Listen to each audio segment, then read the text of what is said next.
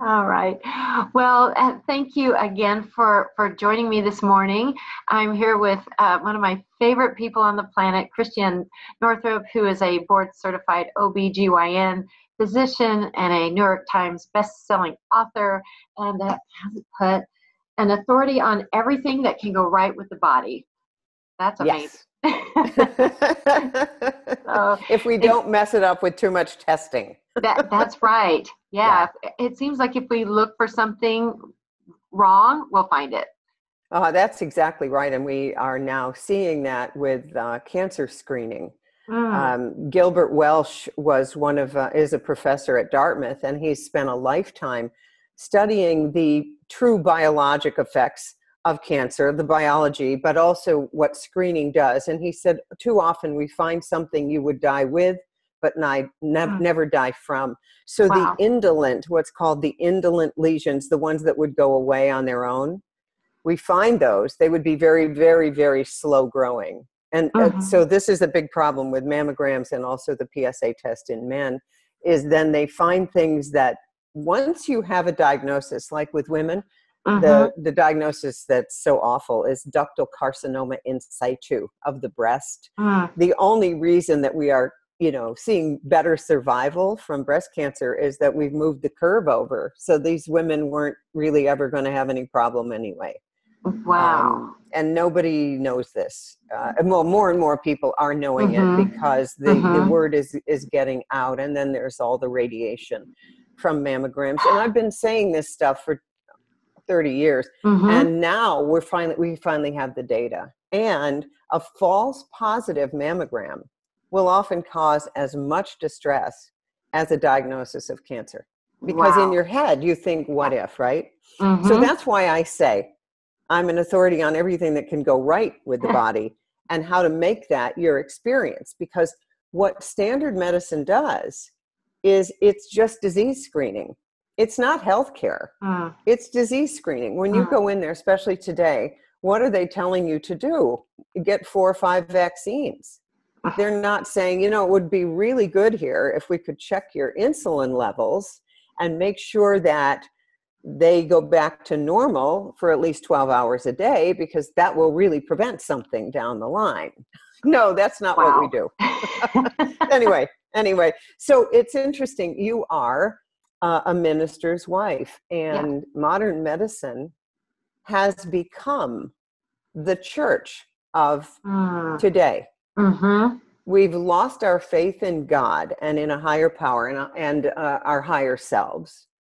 And we have instead put that power and the belief into the hands of medicine to save us. And let me just say, medicine does an amazing job with mm. hip replacements and being run over by a bus and uh, you know, the, the sort of uh, emergency room stuff does right. an amazing job of, of bringing us back from the dead.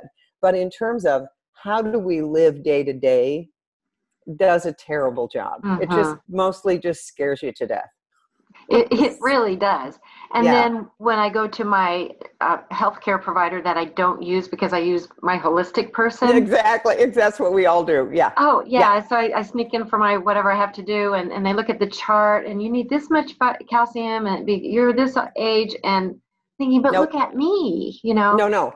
And that's the thing the ageism of it. Mm-hmm. So you walk into a drugstore now, and it's are you 65 or older? Now, Dr. Mario Martinez talks about cultural portals and hmm. how mm. potent these are. A cultural portal is a shared belief system of a culture that trains you what is going to happen after this. So the cultural portals are oh, now you're a teenager, so mm-hmm. you're going to act out and drink and have wild parties at our house. Mm. Um, now you're look at women's magazines. How to dress in your 20s how to dress in your 30s how to dress in your 40s what hairdo is appropriate now. You know now that you're 50 you better cut your hair and mm-hmm. get a mm-hmm. mom haircut and wear mom jeans. And these are cultural portals. 65 is a huge cultural portal. Wow. it was created by the way as the retirement age by um, i think it was um, it was a German guy. I want to say von Bismarck, but that isn't who it was. But it was Otto. Yes, it was Otto von Bismarck in 1965, hmm. 1865.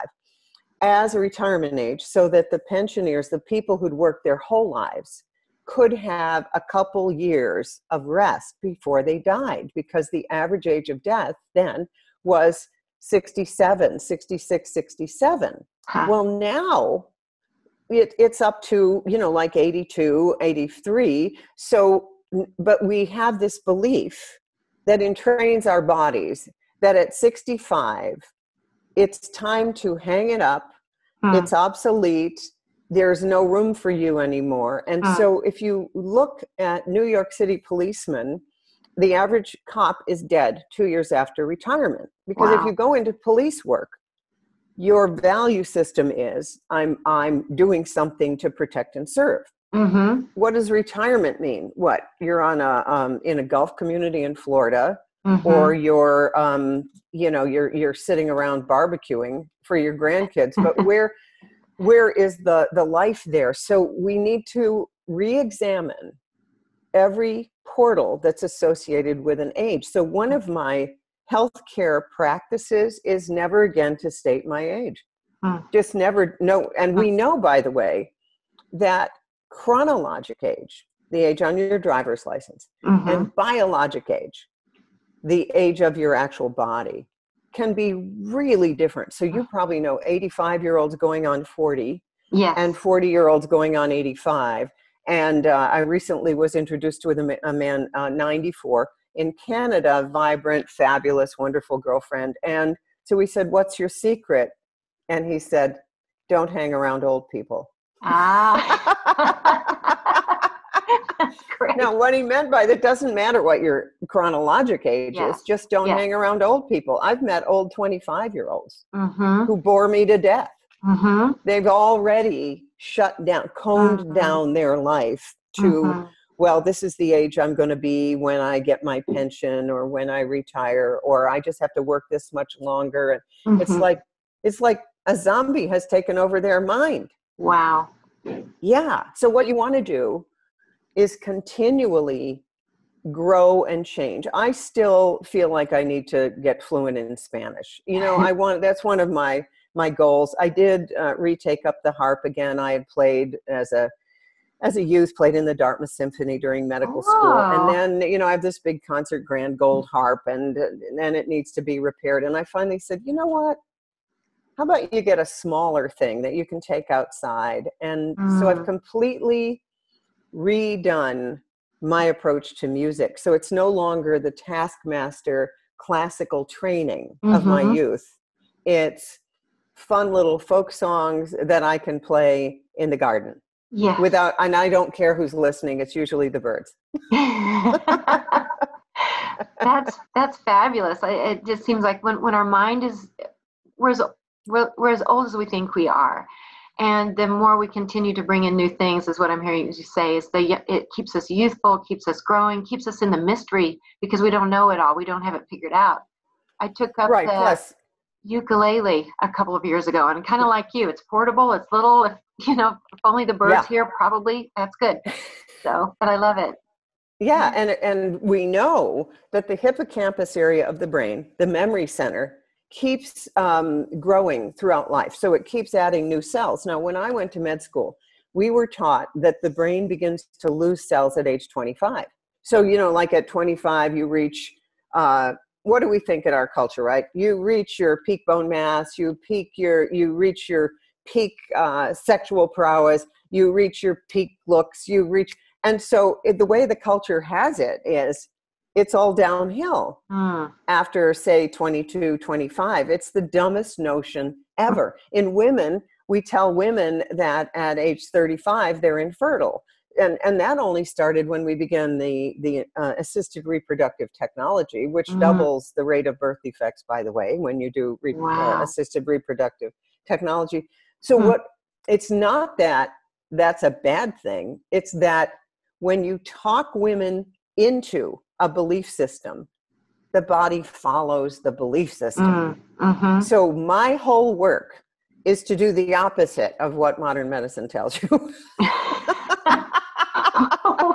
what an uphill battle, right? uh, well, it, ha- it has. I mean, it has been an uphill battle, but it isn't anymore because, um, you know, I've stepped out of the place where conventional medicine has a noose around my neck and I have to follow their rules. Mm-hmm. And, and, for all the doctors who may be listening, you know exactly what I'm talking about. There are wonderful doctors who would love to be healers and have more than 30 seconds to ah. look in your eyes and ask you what's going on. Yes, yes. Yeah, I have a ah. good friend who worked at the Kaiser Group in Denver for years and she said, I am I'm just uh, so glad to be out of there, but nobody is contacting me. It's like when you're in ah. it, you're in it it's a mm. system and you need to have another way to to think and i think when people go to the Mile Hi Church you've got another way to think it's a more mm-hmm. expansive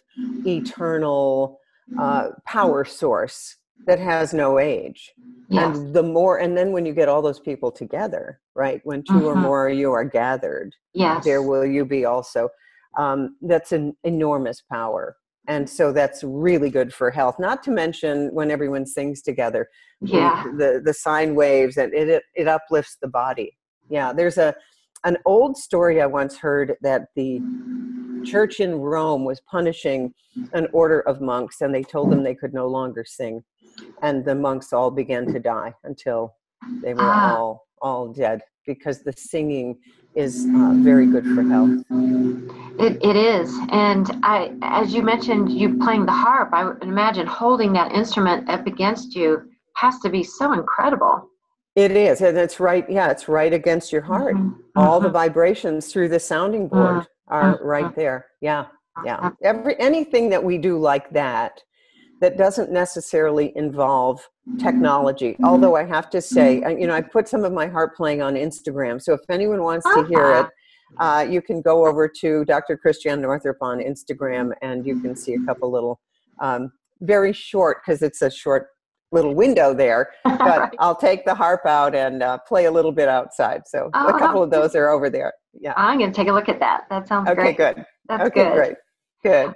Well, I'm so excited because you're going to be at Mile Hi Church on Friday, November 17th, and tickets are going fast.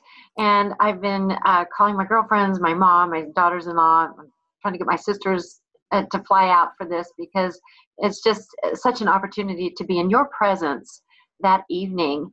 And I know you're going to really be speaking on your, your latest book, Making Life yes. Easy. I love this book. I love this book. Can you, and this one is very spiritual in nature. And so I it was is. wondering if you might let us know the inspiration you had for writing this book and writing it at this time. Yes, yes. Uh, this is a this is a coming out of the closet book about what I've always believed. It's like I've always been this way. You know, it's like a transgendered individual who says, you know, listen, I've always been a girl. What can I tell you? Yes, I know I played for the NFL, but I've always been a girl. Um, this is like this nice. is uh, you know when, when I was twelve, I was babysitting, and I begin the book with this story mm-hmm. babysitting for a couple and i saw a cardboard box of that had come in the mail small and the the words natives of eternity was on the box those words the title and i couldn't stand it i had to open their mail and I, believe me i'm like you know uh, not that person and um, you know I have never smoked i've never used marijuana not you know i don't drink wine not because i have a judgment i just hate the taste and uh, anyhow so i'm just not the person who would open someone else's mail uh-huh. i uh-huh. open it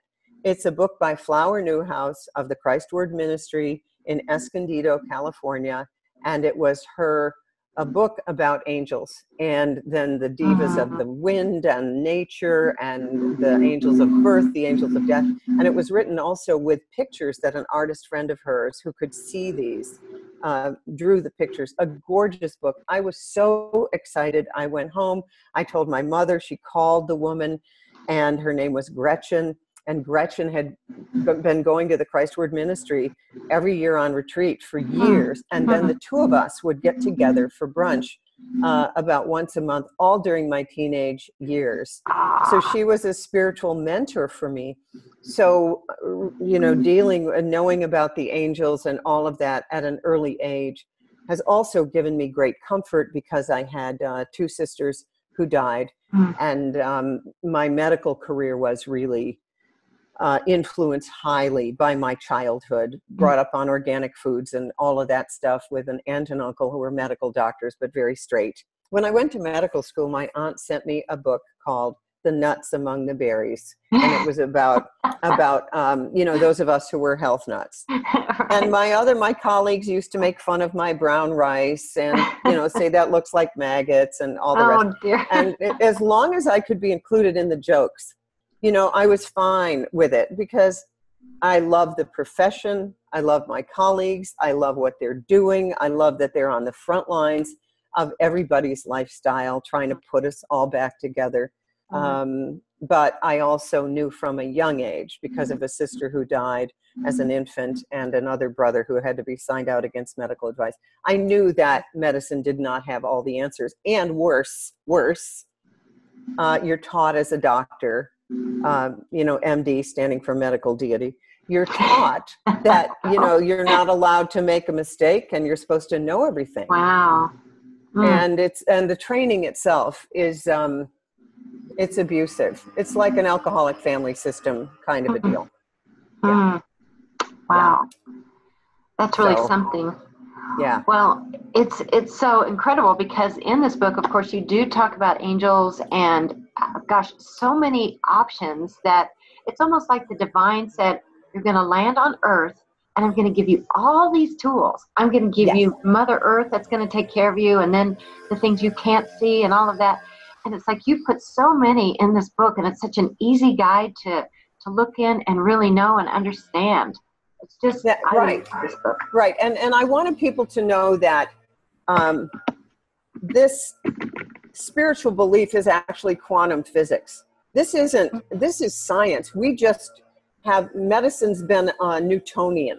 It's been um, based on gravity cause and effect all of that. And we don't understand the power of a person. Yes. we have not had we have not until fairly recently had the ability to see in the brain the results of meditative states mm. uh, the results of uh, ecstatic emotions mario martinez talks about the causes of health and the causes of health are uh, elevated cognition um, uplifting thoughts uh, exalted emotions and then there's a third, which no one ever thinks of, which is um, righteous anger. And ah. righteous anger is interesting. And uh, he talks about Tibetan monks have a lot of diabetes, like way more than they should have. And it's because, hmm. let's think about Tibet. The Chinese came in, raped the women, burned the monasteries, all of that. And if you're a Tibetan Buddhist, your belief system is you go to loving kindness, right? That's mm-hmm. where you go. Um, may all beings be free. May all beings mm. be at peace. Well, that's okay, but the physical body of a human does not let you get away with that.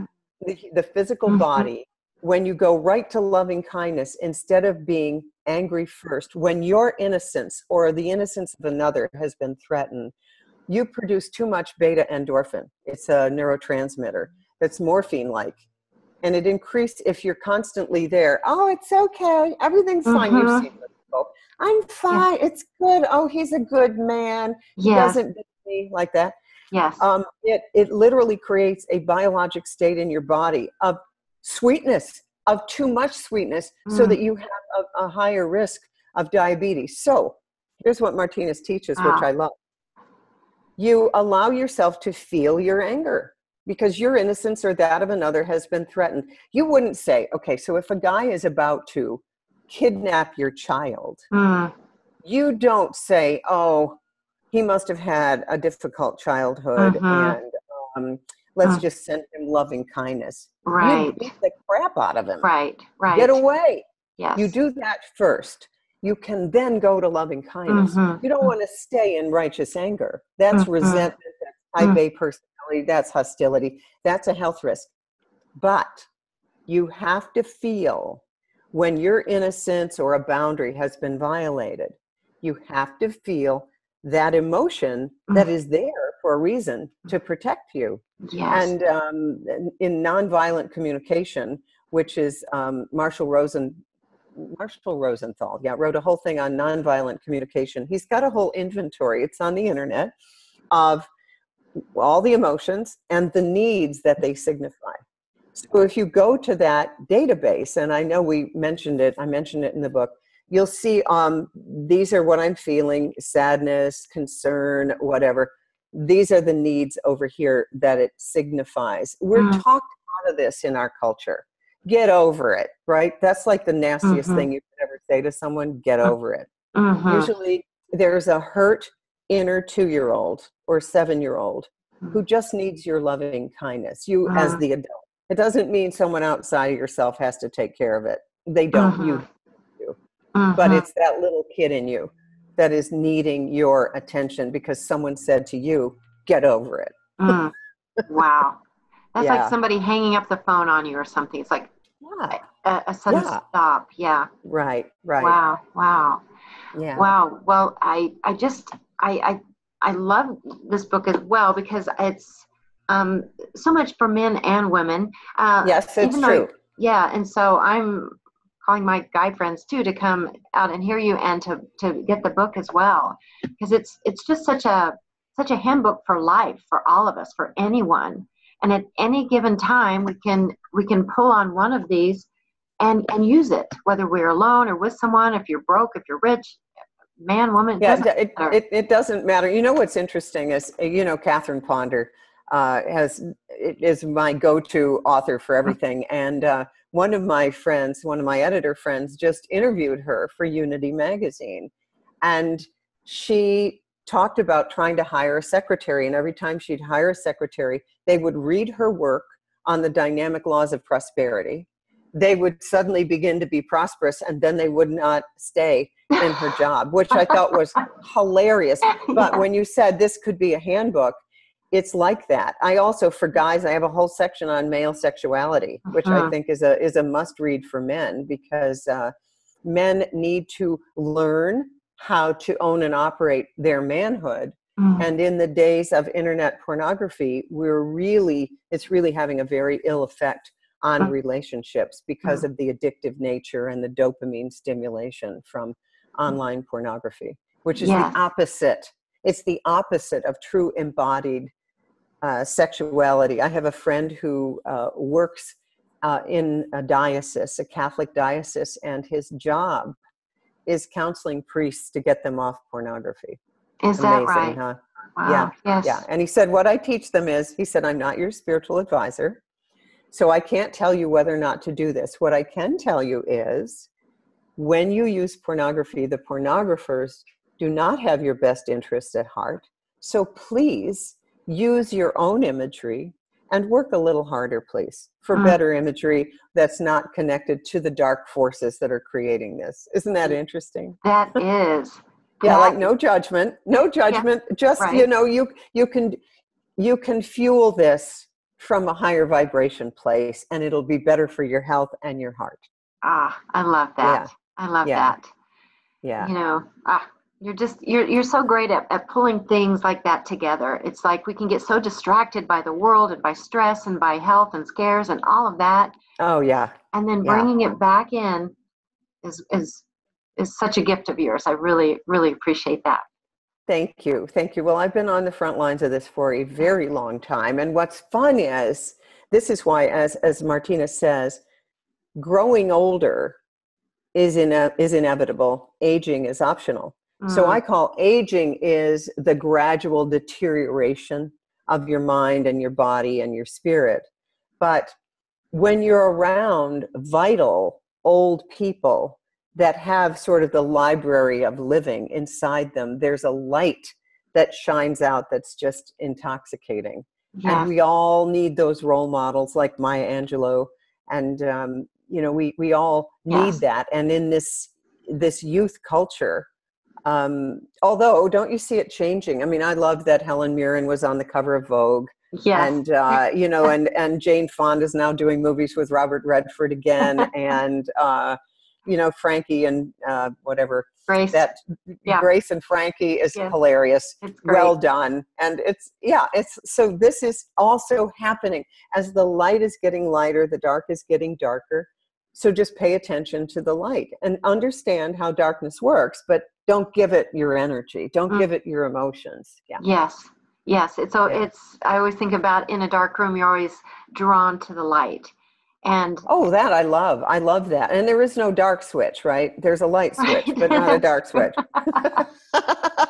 yeah, you don't say turn on the dark. Yeah. No, no, there is a dimmer. We know there's a dimmer switch. But we want to, um, you know, and I think so. Places like the Mile Hi Church is is a place of light, and I believe, really, I believe that what you do there influences the entire planet. Mm-hmm. And it and it doesn't take um, less. It doesn't take more more people. Really, it's half of one mm-hmm. will change the mm-hmm. collective. So when you think about what you do every week at the church, someone who's connected to the light is thousands of times more powerful at mm-hmm. making positive change than someone who's always complaining and someone mm-hmm. who is angry and fearful. Mm. Um, I like to say that anger and fear and sadness and the negative emotions where people live, they're food for dark forces. That's how dark forces mm-hmm. live. And what's happening now, I mean, the fact that I'm coming to your church, you have a vibrant congregation. Uh, it's uplifting uh, thousands of people all the time mm. and you're kind of in the you know in the middle of the country i mean a little west there yes. but that influences the whole country and mm. the dark right now is pulling out all the stops i mean if you look mm. at mainstream media it's fascinating as an author I was on Oprah, the, the talk show, 10 times. I mm. had eight PBS specials. I've been on Dr. Oz. And, but at this point in time, the mainstream media can't even sell a book that's a sort of an upbeat book. Mm-hmm. They, it doesn't work mm-hmm. anymore. Mm-hmm. What's happening instead is things like this. So we're on this Zoom platform. You and I are connecting. We're mm-hmm. not going through NBC or CBS or CNN. We're connecting heart to heart, face to face. And then yeah. you have the ability, like I do, to reach thousands of people. So it's like each of us is our own antenna and our own broadcasting mm-hmm. station Mm-hmm. And the the power is now much more in the hands of individuals than it's ever been, and that's very exciting. It's very exciting. What a gift. We yeah. live in interesting times with interesting opportunities. That's right. That's right. Right. Thank you so much for uh, sharing this time together. Um, I look forward to seeing you at Mile Hi Church and meeting you in person for the first time on uh, November 17th at 7.30 or 7 o'clock at the church in Lakewood. I am. I'm thrilled to be there. Yes, and Thank take you. my place in the pulpit to preach. that sounds great. okay. Amen. Thank you. All right. Well, we will see you soon. Perfect. All Take right. care. Bye bye. Uh-huh. Bye bye.